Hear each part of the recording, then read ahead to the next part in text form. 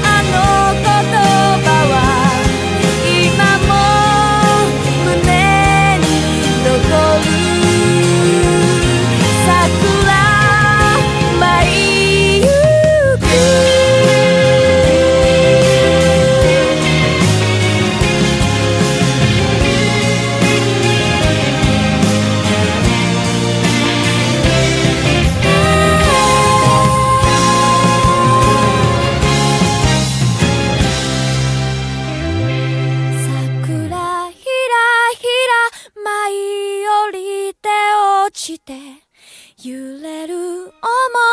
の竹を抱きしめた。遠き春に夢見しあの日々は空に消えてゆくよ。桜開